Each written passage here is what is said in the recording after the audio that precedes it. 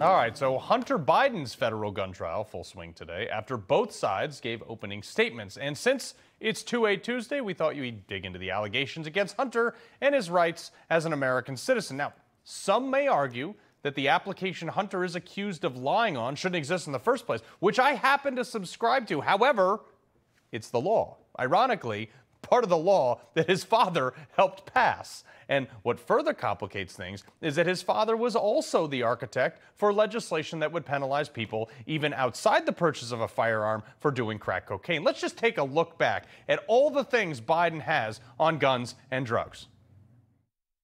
You can't deal with crime without dealing with gun violence. More resources reduce violent crime and gun crime. Take additional common sense steps to reduce gun crimes and violence. Put that double barrel shotgun and fire two blasts outside the house. You don't need an AR 15. If you have a piece of crack cocaine no bigger than this quarter, if you're caught with that, you go to jail for five years.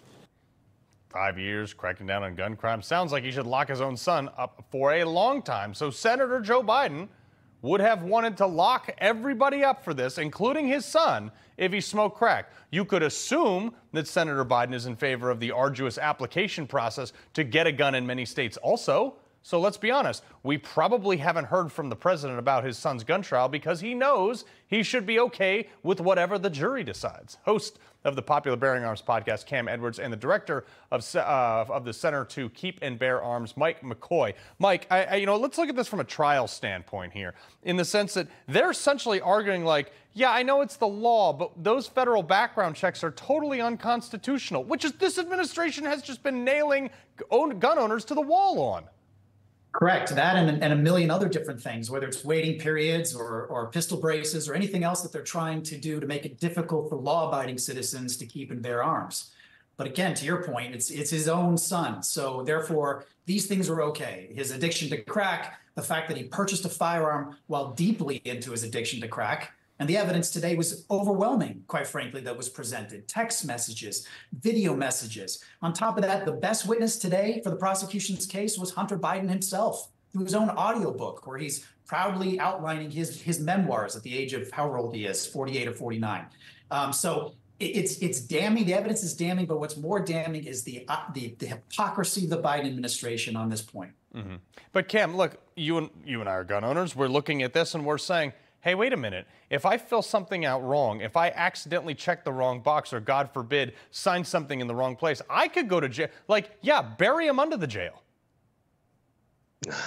absolutely. You're right. And, you know, you talked about you uh, not being in favor of the 4473. Uh, look, the Fifth Circuit has said that, at least in the case of Patrick Darnell Daniels, sending somebody to federal prison for using drugs, in this case marijuana, while owning a gun, violates his Second Amendment rights. So, you know, I think there is a constitutional question here. But as you say, the law as it exists is the law.